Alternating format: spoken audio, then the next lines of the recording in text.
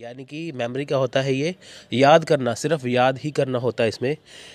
It is a first thoughtless level of teaching ये thoughtless level of teaching है, यानी कि इसमें थॉट सोचने वाला कुछ नहीं होता, सिर्फ़ याद करने वाला ही होता है। यानी कि छोटी छोटी चीज़ें हम अपने दिमाग में याद रखते हैं, यानी कि static part it is concern with memory और मेंटल एबिलिटी ये हमारी मेमोरी और मेंटल एबिलिटी से संबंधित है। इसमें स्टैटिक पार्ट आता है जैसे कोई कह दे कि उसका जन्म कब हुआ था, उस राजा का जन्म कब हुआ था, वो कब हुआ था, भारत कब आज़ाद हुआ था, ठीक है? तो कहने का मतलब ये है कि ये स्टैटिक पार्ट है इसमें। आपको सिर्फ़ उतनी ही इन्फॉर्मेशन याद रखनी पड़ती है जितनी की ज़रूरी हो, ठीक है? इसमें सोचने वाली कुछ बात नहीं होती। तो मेमोरी लेवल है जो बेसिक लेवल है, जिसमें मेमोरी से ये संबंधित है। Teaching and memory level is consider to be the lowest level of teaching यानी कि जो मेमोरी लेवल है टीचिंग का, ये सबसे लोएस्ट लेवल है। आपसे सीधे ही क्वेश्चन पूछ सकते हैं कि lowest level of teaching is what it is the memory level okay so at this level first stage of teaching यानी कि इस लेवल पे क्या होता है? ये पहली स्टेज है टीचिंग की। The thinking ability does not play and role यानी कि इसमें थिंकिंग एबिलिटी नहीं आती। आप देखिए कि सबसे पहली स्टेज सबसे पहला चरण टीचिंग का, ये कौन सा है? ये मेमोरी लेवल का ही है। इसमें थिंकिंग बिल्कुल नहीं आती। ठीक है? तो दूसरी बात students only cram the fact cram होता है रटना। यानी कि स्टूडेंट सिर्फ़ फैक्ट को रटते हैं इन्फॉर्मेशन को रटते हैं। ठीक है? And laws that are taught to them उनको जो नियम कायदे हैं, उसको जानना पड़ता है। यानी कि स्टूडेंट इसमें सिर्फ़ फैक्ट को इन्फॉर्मेशन को सिर्फ़ रटते रटते हैं। जैसे भारत आज़ाद हुआ पंद्रह अगस्त उन्नीस सौ सैंतालीस को। ठीक है? तो गांधी जी का पूरा नाम मोहनदास करमचंद गांधी।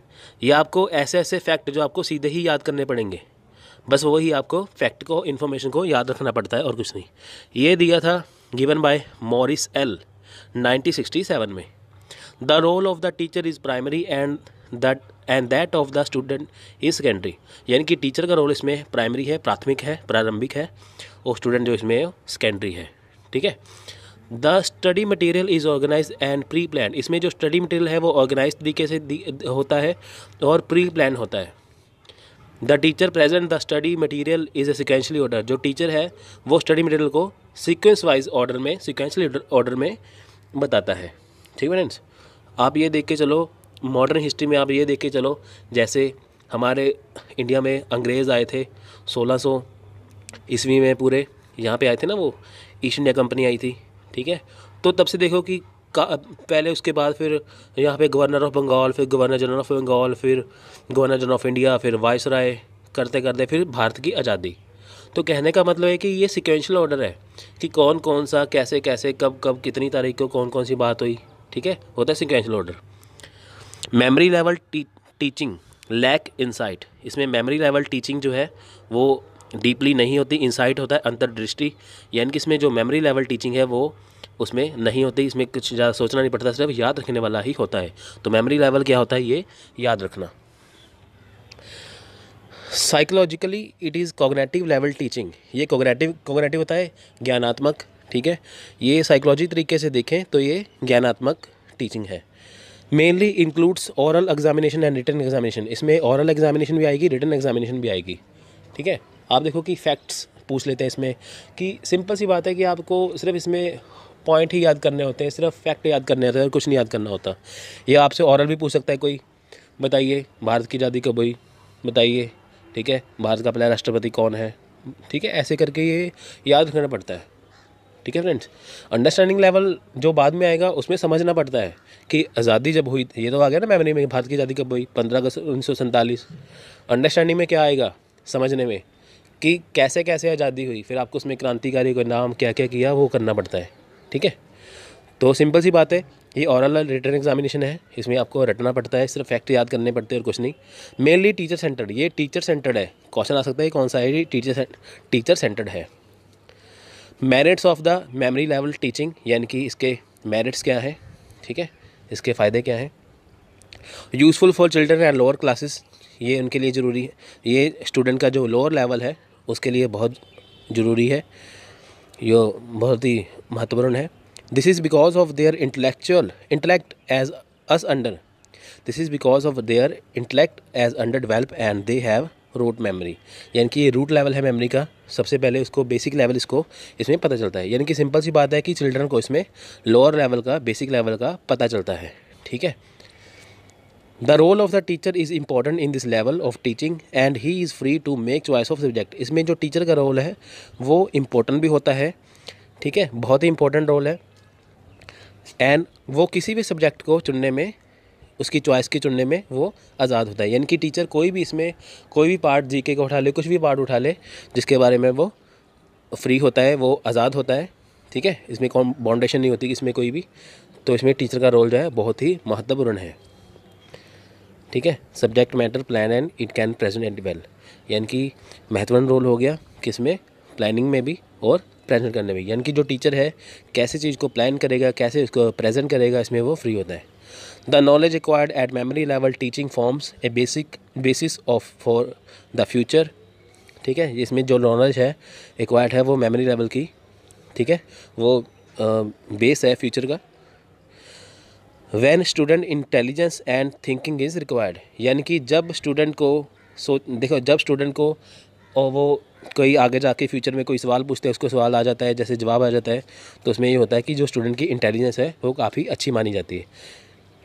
ठीक है? यानी कि जैसे आप देखिए कि स्कूल में आपने पाँचवीं, छठी या दसवीं में या कहीं पे भी आपने कुछ पढ़ा होगा तो आपको हमेशा याद रहता है, आपको फैक्ट याद रहते हैं। अगर आपसे कोई सवाल पूछ ले तो वो सोचते हैं कि इसकी थिंकिंग सॉरी इसकी नॉलेज काफ़ी अच्छी है। तो ये नॉलेज की काफ़ी महत्वपूर्ण हो जाती है मेमोरी लेवल की। मेमोरी लेवल है, याद रखना। अब डी मेरिट्स क्या है? नुकसान क्या है? मेमोरी लेवल टीचिंग के, यानी कि एमएलटी के।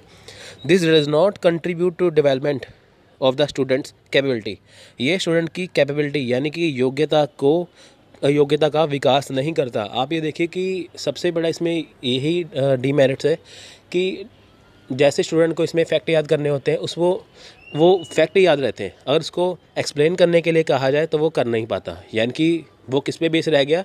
सिर्फ़ उसको रटने में या याद करने में। सिर्फ़ उसको एक ही चीज़ का पता चलता है, उसके बारे में उसकी हिस्ट्री जोग्राफी कुछ भी पता नहीं चल पाता। यानी कि उसको सिर्फ़ यही पता है कि इसका क्या, यानी कि ये कब हुआ था, ये नहीं पता है कैसे कैसे हुआ था। ठीक है? यानी कि उसने अंडरस्टैंडिंग नहीं, सिर्फ़ उसने याद रखा है। इसकी डीमेरिट है। The knowledge gain does not does not prove helpful in real life situation as it does not develop the talent of student यानी कि जो नॉलेज है, ये हेल्पफुल प्रूव नहीं होती लाइफ के जो असली हिस्सा है, यानी कि जो हमारी ज़िंदगी का असली हिस्सा है, जो रियल सिचुएशन है रियल लाइफ की सिचुएशन है, उसमें ये इतना हेल्पफुल साबित नहीं होता। आप देखिए कि कहीं पे आपको इंटरव्यू में सवाल पूछ लिया जाए कि बताइए इसका आंसर क्या आएगा, आप तो बता दोगे। पर आपको कहा जाए कि इसको एक्सप्लेन भी कीजिए तो आप कर नहीं पाओगे मेमोरी लेवल में, ठीक है? क्योंकि आपने सिर्फ़ उसका रटा ही है अंडरस्टैंड तो किया ही नहीं। इसलिए मेमोरी लेवल जो है, वो इतना हेल्पफुल नहीं रहता, ठीक है? ना ही ये स्टूडेंट का टैलेंट जो है, वो डेवलप कर पाता है। टैलेंट ऐसे कि यानी कि स्टूडेंट को जैसे कोई चीज़ पता हो, आपको कोई भी चीज़ बीच में से पूछ ले। यानी कि सिंपल सी बात आप देखिए कि कई स्टूडेंट क्या करते हैं, पेपर देने के लिए, एग्ज़ाम देने के लिए, वो सिर्फ़ एम की तैयारी करके जाते हैं। अब होता क्या है कि जब उनके सामने कुछ सिचुएशन रखी जाती है, क्वेश्चन की तो वो कर ही नहीं पाते। क्यों? क्योंकि देखिए कि उन्होंने तो एम रखा ना, इसका आंसर ये आएगा, उसका आंसर वो आएगा। उन्होंने समझा तो कुछ है ही नहीं। यानी कि उन्होंने सिर्फ़ मेमोरी लेवल याद रखा है अंडरस्टैंड तो किया ही नहीं। तो उसमें बात आती है कि आपको कंसेप्ट समझे बिना आपको कुछ नहीं आएगा। यानी कि मेमोरी लेवल में सिर्फ़ आप क्या है बेसिक लेवल ही है तो आप इसमें स्टैटिक पार्ट ही कवर कर पाते हैं। ठीक है? हेल्पफुल कब होगा? जब आप अंडरस्टैंड कर पाओगे। The peoples are kept in strict discipline and cramming is insisted on the teaching on this teaching यानी कि इसमें क्या है कि पीपल्स को स्ट्रिक्ट डिसिप्लिन में रहना पड़ता है और सिर्फ़ इसमें रटना ही पड़ता है। यानी कि टीचर स्टूडेंट को बताएगा कि आप इसको चीज़ को अच्छा करो, अच्छे से करो बार बार करो। स्टूडेंट का क्या करता है कि उसको रटता रहता है बार बार ठीक है? उसको डिस्प्ले में रहना पड़ता है, उसको बार बार रटना पड़ता है। रटने से क्या होगा? ठीक है? उसमें उसको उतना ही याद रह पाएगा। यानी कि सिंपल सी बात है, अब हम अपना लेक्चर ख़त्म करते हैं। सिंपल सी बात क्या है? तो मेमोरी क्या है? इसमें सिर्फ़ हम याद करते हैं। ठीक है? इसमें हम याद ही करते हैं इसमें हम रटते हैं याद करते हैं फैक्ट एंड फिगर को याद करते हैं। ठीक है फ्रेंड्स तो होता है कुछ नहीं है इसमें सिर्फ़ याद करना ही होता है। ये बेसिक लेवल है संबंध देखा जाता है ठीक है? तब ये समझ पाएँगे ना कि कोई चीज़ कैसे हमें कोई बता दे कि यार ये चीज़ ऐसे आएगी। जैसे हम हमें कोई बताए कि दो और दो चार होते हैं हम देखेंगे ना कि दो और दो को इसमें प्लस किया है ठीक है? अगर हमें वो बता दे कि दो माइनस दो चार होता है ये हम तो नहीं मानेंगे। क्योंकि हमें अंडरस्टैंडिंग आ चुकी है कि दो और दो को प्लस करेंगे, तभी ही चार आएगा। ठीक है फ्रेंड्स ये होता है अंडरस्टैंडिंग लेवल यानी कि फैक्ट देखोगे और साथ में रिलेशनशिप देखोगे। ठीक है फ्रेंड्स तो चलिए, ये तो होगी इसकी definition the teaching at the understanding level is of higher quality than one at memory level यानी कि टीचिंग में जो अंडरस्टैंडिंग लेवल है, ठीक है, वो एक हायर क्वालिटी है। किसमें से? मेमोरी लेवल से। यानी कि मेमोरी लेवल में आप सिर्फ़ सिर्फ़ चीज़ों को याद ही करते हो, समझते बिल्कुल नहीं हो, ठीक है? आपको सिर्फ़ फैक्ट याद होते हैं। पर जो अंडरस्टैंडिंग का लेवल आता है टीचिंग के अंदर, वो एक आपको हायर क्वालिटी प्रदान करता है। हायर क्वालिटी मतलब कि आपको चीज़ समझ में आती है, आप किसी को चीज़ समझा सकते हो, ठीक है? जैसे मैं भी कोशिश करता हूँ आपकी चीज़ समझाने की, क्या पता आपको समझ आती है या नहीं आती है, ये तो मेरे को नहीं पता। पर फिर भी आपको जब मैं चीज़ समझा रहा हूँ तो वो हो गया अंडरस्टैंडिंग लेवल ठीक है? तो it is more useful and thoughtful from the point of view of mental capability यानी कि कह रहे हैं कि ये बहुत ज़्यादा यूज़फुल है और बहुत ज़्यादा थाटफुल है। थाटफुल होता है सोचने के लिए। ठीक है? ये बहुत ज़्यादा यूज़फुल है थाटफुल है। किसके? पॉइंट ऑफ़ व्यू से। ठीक है? यानी कि हम जो अपने दिमाग से सोचते हैं पर मेंटल कैपेबिलिटी से, योग्यता से, दिमागी शक्ति से हम जो सोचते हैं, ये इसके लिए बहुत ज़्यादा यूज़फुल है और थाटफुल है। ठीक है? नेक्स्ट आ गया मेमोरी प्लस परमियंस इनसाइट इनसाइट परमियंस का मतलब होता है अंतर्दृष्टि। यानी कि, देखिए, सबसे पहली बात ये होती है कि आप देखिए कि जो मेमोरी लेवल है, उसमें हम याद करते हैं ना, उसमें हमारी मेमोरी आती है। इसमें मेमोरी के साथ साथ क्या आता है? इसमें परमियंस और इनसाइट भी आता है, यानी कि इसमें अंतर्दृष्टि भी आती है। अंतर्दृष्टि मतलब कि हम चीज़ों को आसानी से समझते हैं। मेमोरी भी, जो हमने चीज़ याद कर ली, याद करने के बाद हम क्या करते हैं, उसको अपने दिमाग से सोचने की कोशिश भी करते हैं। ठीक फ्रेंड्स? तो इसके हैं जो ऑब्जेक्टिव टाइप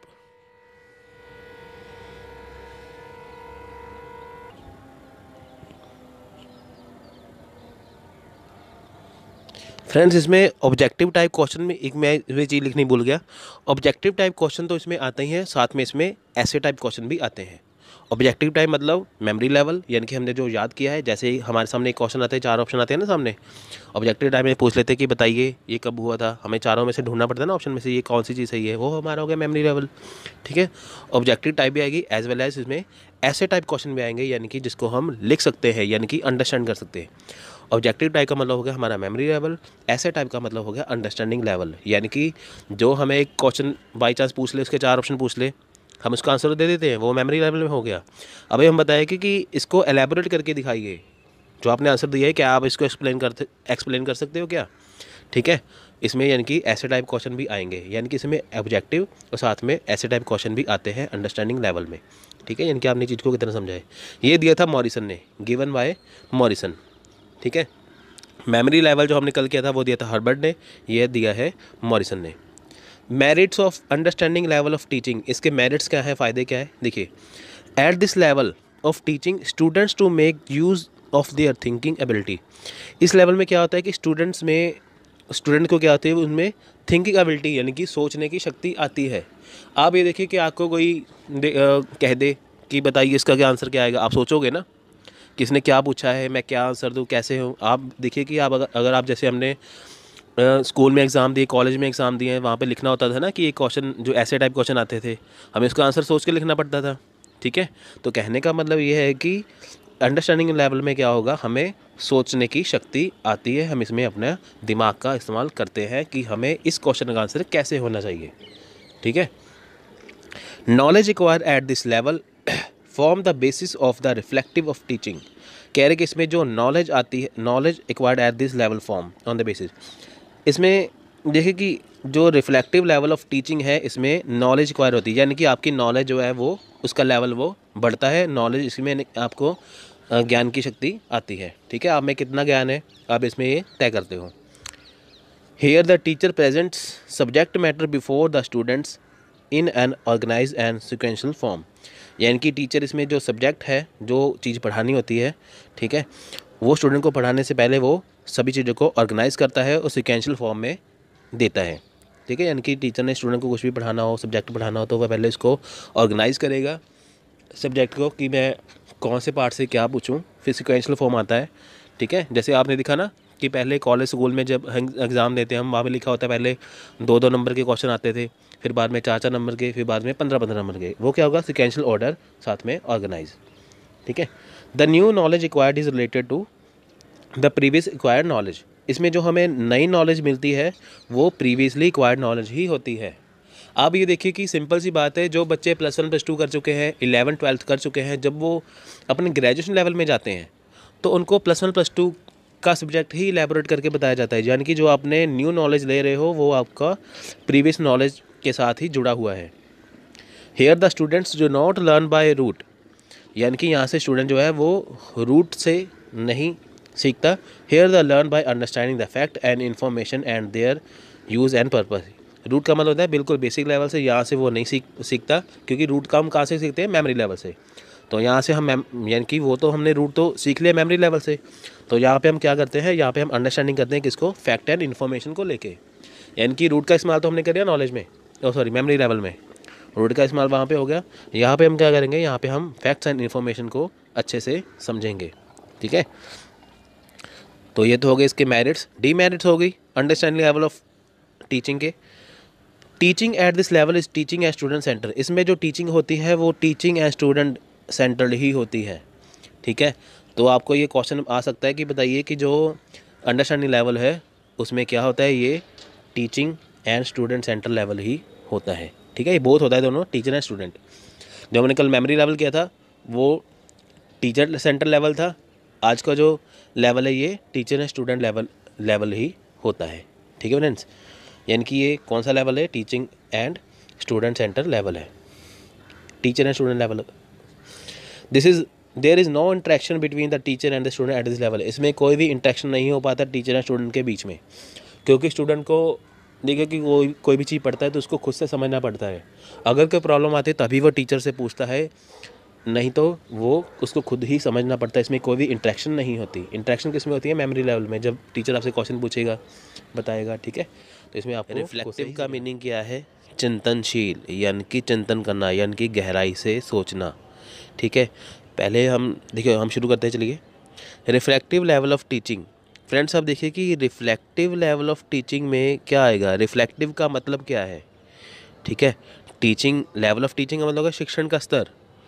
तो रिफ्लेक्टिव का क्या मतलब हुआ? रिफ्लेक्टिव का मतलब हुआ, यानी कि चिंतनशील। चिंतन क्या होता है? जब हम अपने मन की गहराई से किसी चीज़ को सोचते हैं, यानी कि आपके सामने कोई क्वेश्चन रखा गया, कोई प्रश्न रखा गया, आपने अब ये सोचना है कि ये प्रश्न गलत है सही है, आप कैसे सोचोगे? सोच समझ के जवाब दोगे ना? तो उस सोचने, समझने, विचार की शक्ति को ही रिफ्लेक्टिव कहते हैं। यानी कि क्या सही है, क्या गलत है, क्या ये सच है, क्या ये सच नहीं है, ये सब होता है रिफ्लेक्टिव ठीक है? यानी कि रिफ्लेक्टिव लेवल ऑफ़ टीचिंग का मीनिंग क्या हुआ? यानी कि हमें जो कुछ भी क्वेश्चन पूछा जाता है, हम उसका सोच समझ के, विचार करके जवाब देते हैं। एग्ज़ाम्पल के तौर पर, अगर आप एग्ज़ाम में बैठे हो, अगर आपके सामने एक क्वेश्चन आता है, चार ऑप्शन आते हैं, आप बिना सोचे समझे जवाब तो देते नहीं हो। आप बिल्कुल सोच समझ के ही जवाब देते हो, उसे कहते हैं रिफ्लेक्टिव ठीक है? यानी कि सोच समझ के, सोच विचार के, चिंतन करके किसी का जवाब देना। तो चलिए, इसका हो गया मीनिंग अब शुरू करते हैं। Reflective on something means giving careful thought to something over a period of time यानी कि, देखिए, ये डेफिनेशन है, इसका क्या मतलब है? किसी चीज़ पर चिंतन करने का मतलब है कि किसी समय पर कुछ करने के लिए सावधानीपूर्ण विचार करना। वही बात आ गई। यानी कि, बात समझिए, किसी चीज़ पर चिंतन करने का मतलब है। किसी चीज़ का मतलब आप क्वेश्चन का मान के चलिए, आपके सामने एक प्रश्न है। ठीक है? तो उसके ऊपर आप सोच विचार रहे हो, चिंतन कर रहे हो, ठीक है? वो कैसे करोगे? सावधानी पूर्व यानी कि आपके सामने कोई क्वेश्चन रखा गया अब उसका बिल्कुल सावधानी से, बिल्कुल सोच समय के जवाब दोगे, ठीक है? किसी समय के अंदर, यानी कि किसी समय के अंदर किसी चीज़ पर विचार करके उसका जवाब देना, सावधानी पूर्व जवाब देना तो होता है वो रिफ्लेक्टिव ठीक है? जो कि इसकी definition it also means thinking deeply about something. यानी कि इसका मतलब है कि किसी चीज़ को बिल्कुल गहराई से सोचना। ठीक है? It is problem solving technique ये प्रॉब्लम सॉल्विंग टेक्निक है। ठीक है? प्रॉब्लम सॉल्विंग की आप देखिए कि अगर आपके सामने कोई मैथ्स का क्वेश्चन रख दिया जाए, ठीक है? अगर मैं आपके सामने रख दूँ, दो और दो कितने होते हैं? टू प्लस टू फोर दो और दो चार हो गए ना? अगर आपके सामने कोई ऐसा सवाल रख दिया जाए जिसके ऊपर कोई फार्मूला होगा, आप उसको पहले सोचोगे कि विचारोगे ना कि ये है क्या? उसको समझोगे, फिर उसको सॉल्व करने का तरीका देखो क्या है। तो वो क्या रिफ्लेक्टिव यानी कि इसमें क्या होगा? इसमें ये आपको थिंक डीपली सोचना भी पड़ेगा, साथ में आपको ये प्रॉब्लम सॉल्विंग टेक्निक भी कहलाता है। यानी कि किसी समस्या का हल को करने के लिए जब हम सोचते, विचारते हैं, उसे रिफ्लेक्टिव लेवल ऑफ़ टीचिंग कहते हैं। It includes memory level and understanding level इसमें मेमोरी लेवल और अंडरस्टैंडिंग भी आता है। सबसे पहले मेमोरी लेवल आता है कि हमने क्या याद किया था। फिर आता है अंडरस्टैंडिंग लेवल क्या हमने समझा था। फिर आता है रिफ्लेक्टिव लेवल जो हमने याद किया था, जो हमने समझा था, वाकई ही उसके अनुसार ये हो पाएगा।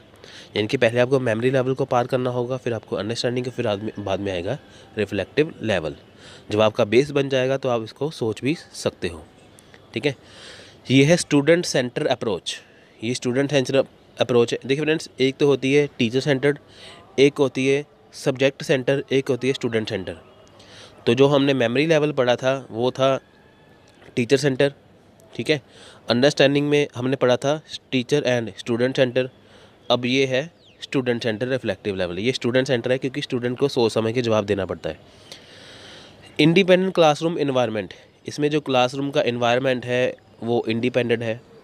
यानी कि बच्चों से जो भी सवाल पूछा जाए, उनको ज़रूरी नहीं है किताबों से रटा रटाया ही उसी टोन में बात करनी है। जो अपनी तरफ़ से भी कुछ ना कुछ पॉइंट को ऐड कर सकते हैं, ठीक है? नेक्स्ट आ गया, ऐसे टाइप क्वेश्चन फॉर एवेल्यूशन इसमें ऐसे टाइप क्वेश्चन रखे जाते हैं एवेल्यूशन के। इसमें ऑब्जेक्टिव टाइप नहीं रखे जाते। ऑब्जेक्टिव टाइप क्वेश्चन किसमें आए थे? मेमोरी लेवल ऑफ़ टीचिंग और अंडरस्टैंडिंग लेवल में। इसमें आएँगे ऐसे टाइप क्वेश्चन आप ये देखिए कि अगर आप किसी चीज़ के ऊपर कोई ऐसे लिख रहे हो तो उसमें क्या होगा? उसमें यही होगा कि आप अपने विचार लिख रहे हो।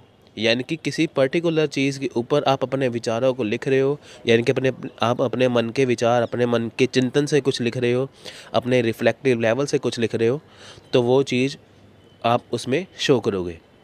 ठीक है? तो पढ़ने वाला ये समझेगा, ये बच्चा कितना समझदार है, कितना नहीं। ठीक है? तो सिंपल सी बात है, किसी का रिफ्लेक्टिव लेवल जानना हो तो उसका वैल्यूशन कैसे होगा? ऐसे टाइप क्वेश्चन से। ठीक है? आपको सिंपल सी क्वेश्चन पूछ लेंगे। अगर हमने किसी की गहराई जाननी हो, ठीक है? किसका ये गहराई जाननी हो रिफ्लेक्टिव तो उसमें कौन सा लेवल ऐसे टाइप एवेल्यूशन किसमें आती है? वो रिफ्लेक्टिव लेवल में ही आती है।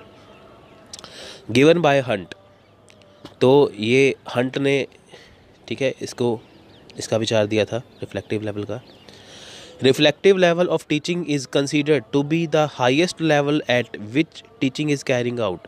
यानी कि जो रिफ्लेक्टिव लेवल है टीचिंग का ये सबसे हाईएस्ट लेवल है। हाईएस्ट में सबसे बड़ा लेवल है ये। ठीक है? मेमोरी लेवल तो छोटा लेवल है अंडरस्टैंडिंग छोटा लेवल है रिफ्लेक्टिव लेवल बहुत ज़्यादा हाई लेवल है, जिसमें आपको सोचना, समझना पड़ता है। It is highly thoughtful and useful ये बहुत ही विचारशील है, बहुत ही ज़्यादा यूज़फुल है। ठीक है? ये बहुत ही थाटफुल और बहुत ही यूज़फुल है। इसमें आपको सोच समझ के अच्छे से जवाब देना पड़ता है, सोचना, समझना पड़ता है वो। Student can attain this level only after going through memory level and teaching level sorry memory level and understanding level यानी कि ये स्टूडेंट तभी कर पाएगा जब वो मेमोरी लेवल और अंडरस्टैंडिंग लेवल को पार कर पाएगा। यानी कि अगर वो चीज़ों को मेमोरी लेवल में याद रख पाता है अंडरस्टैंडिंग में समझ पाता है, तभी वो रिफ्लेक्टिव लेवल के आगे बढ़ सकता है। तो नेक्स्ट आ गया। Teaching at the reflective level enables the student to solve the real problem of life यानी कि जो रिफ्लेक्टिव लेवल है टीचिंग का, वो स्टूडेंट को उनकी जीवन की जो वास्तविक समस्याएँ हैं, यानी कि जो रियल प्रॉब्लम ऑफ़ लाइफ है, उसको सुलझाने में उनकी मदद करता है। होता है ना ऐसे? जैसे हमने पढ़ लिख लिया, सब कुछ कर लिया, अब हमारे दिमाग का हो जाता है विकास। विकास होने से क्या होगा कि हमारे जीवन में कोई भी समस्या आती है तो हम उसको सॉल्व करते हैं।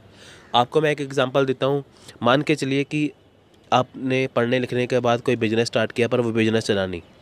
तब होगा क्या? आप अपने तरीके से बिज़नेस को स्टैंड करने की कोशिश करोगे, ठीक है? स्टैंड करने की कोशिश करोगे, उससे क्या होगा? उससे ये होगा कि आपने जो पढ़ा लिखा होगा, आपने जो कुछ पढ़ा होगा, आप उसका, आपका, उससे दिमाग में समझ आती है कि मुझे क्या क्या करना है, कैसे डील करनी है। है ना? होता है ना कि जो अगर हम किसी से अच्छे से मिले तो कहेगा कि ये कितना पढ़ा लिखा है। जो कई पढ़े लिखे नहीं होते, उनको बात करने का कई बार ढंग नहीं होता तो कहते ना, ये अनपढ़ है। तो कहने की बात क्या है कि जो टीचिंग है, जो हमने जो पढ़ा है, जो रिफ्लेक्टिव लेवल जो हमने सभी लेवल पढ़े हैं, उसमें हमें रिफ्लेक्टिव लेवल हमारे जीवन की सारी समस्या को सॉल्व करने के लिए काम आता है। ठीक है? नेक्स्ट है at this level the student is made to face a real situation problematic situation यानी कि इस लेवल में क्या आएगा कि जो स्टूडेंट है वो एक रियल जो सिचुएशन होती है, जिसमें प्रॉब्लम आती है, यानी कि जो रियल जो वास्तविक प्रॉब्लम जो समस्याएँ होती हैं, उसके सिचुएशन को उसको फेस करना पड़ता है, इस लेवल में।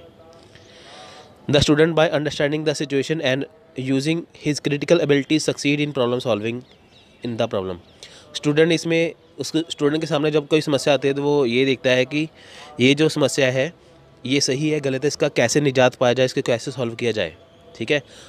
हर समस्या का हल होता है, उसको बस ढूंढना पड़ता है, यानी कि जब आप चीज़ को पढ़ लोगे तो आपको रिफ्लेक्ट करना पड़ता है, आपके सामने कोई प्रॉब्लम आती है तो आपको उसको सुलझाना पड़ता है अपने लेवल के ऊपर, उसको कहते हैं reflective level the role of the student is quite active इसमें स्टूडेंट का रोल बहुत ज़्यादा एक्टिव होता है। आपको सीधे से क्वेश्चन पूछ सकते हैं कि, ये बताइए, इनमें से कौन सा लेवल है जिसमें से सबसे ज़्यादा स्टूडेंट का रोल जो एक्टिव होता है, वो होता है रिफ्लेक्टिव लेवल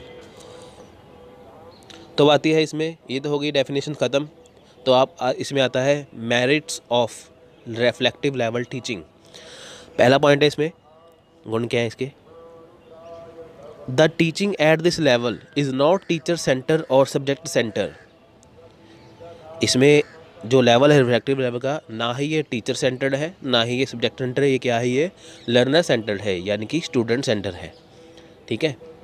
ये लर्नर सेंटर है। लर्नर का मतलब हो गया कि जैसे आप लर्नर हो, आप कुछ भी पढ़ सकते हो। आप यू जी नेट पढ़ो आई पढ़ो पीसीएस पढ़ो, जो मर्ज़ी पढ़ सकते हो, जिसमें आपका मन करे।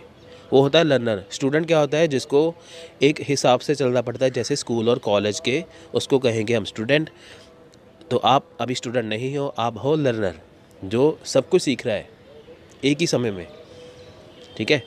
तो यानी कि ये हो गया लर्नर सेंटर ये टीचर और सेंटर सब्जेक्ट सेंटर नहीं है, ये लर्नर सेंटर या स्टूडेंट सेंटर है, ठीक है? There is an interaction between the teacher and the taught and reflective level teaching इसमें इंट्रैक्शन होती है किसमें? टीचर के बीच में और उसके पढ़ाने के तरीके तरीके में। इनके रिफ्लेक्टिव लेवल क्या होगा? टीचर उसके पढ़ाने का तरीका। ठीक है? आपको जैसे टीचर कोई बात समझा दे, आप उस बात को याद रखोगे तो आपके बाद में वही दिमाग घूमेगी बार बार तो आप उसको ही याद करोगे। At this level teaching is appropriate for the at this level teaching is appropriate for the higher class यानी कि इस स्तर पर शिक्षण उच्च वर्ग के लिए उपयुक्त है। इस लाइन का ये मतलब है। यानी कि टीचर जो है, वो बड़ी क्लासों के लिए, जो बड़ी क्लासेस है, ठीक है, उसके लिए वो ज़्यादा कारगर साबित होता है। बच्चों को तो देखिए आप, जो छोटे बच्चे हैं, पाँचवीं से नीचे, उनको तो बस याद करवाना होता है। जब वो छठी क्लास से आते हैं तो उनको थोड़ा सा समझाने की ज़रूरत पड़ती है, ठीक है। नाइन्थ टेंथ इलेवेंथ वाला कॉलेज में जाइए तो वहाँ पे उनको एलेबरेट एलेबरेट करके समझाना पड़ता है तो रिफ्लेक्टिव लेवल उनके लिए काम आता है। ठीक है? At this level teaching is highly thoughtful and useful then the teaching at the memory और अंडरस्टैंडिंग लेवल इसमें जो टीचिंग का ये लेवल है, ये बहुत ही ज़्यादा थाटफुल और यूज़फुल है। किससे? मेमोरी लेवल और अंडरस्टैंडिंग लेवल से। सीधी सी बात है कि जो जो मेमोरी लेवल और टीचिंग लेवल है, उससे ज़्यादा हाईली थाटफुल और यूज़फुल क्या है? रिफ्लेक्टिव लेवल तो हमने इसके मेरिट्स कर लिया, अब इसके डी मेरिट्स भी करते हैं। Not suitable for small children at low level of teaching यानी कि इसमें जो छोटे बच्चे हैं, उनके जो छोटे बच्चे हैं, उनके लिए काम नहीं आता, ना ही जिनका लेवल अभी लोअर लेवल है, उनके लिए काम ये नहीं आता। It is suitable only the mentally mature children जैसे कि मैंने आपको अभी बताया, ये बड़े बच्चों के लिए है यानी कि छोटे बच्चों के लिए है नहीं रिफ्लेक्टिव लेवल क्योंकि वो समझ नहीं पाएँगे। ये सिर्फ़ बड़े बच्चों के लिए ही है। At this level the study material is neither organise nor well pre planned इसमें जो स्टडी मटेरियल है, ना ही वो इसमें ऑर्गेनाइज किया जाता है तो ना ही इसमें प्री प्लान किया जाता है। Therefore students can not acquire systematic इसमें स्टूडेंट भी सिस्टमेटिक तौर से नहीं चलता। सीधी सी बात है, इसमें जो भी आपको सोचना पड़ता है, अपने मन से सोचना पड़ता है। ठीक है? आप सिंपल सी बात लेके चलो कि अगर आप कोई चीज़ पढ़ते हो, क्या आपको कहीं जो भी बुक रट जाती है पूरी? नहीं रटती ना। आप क्या करते हो? उसको जब पढ़ते हो, पढ़ने के साथ क्या होता है? आपके दिमाग में कुछ कुछ बातें रह जाती हैं कुछ कुछ आप अपने से जोड़ते हो। ठीक है? वो चीज़। तो मिलते हैं अगली वीडियो में। तब तक के लिए धन्यवाद। Thank you. जय हिंद।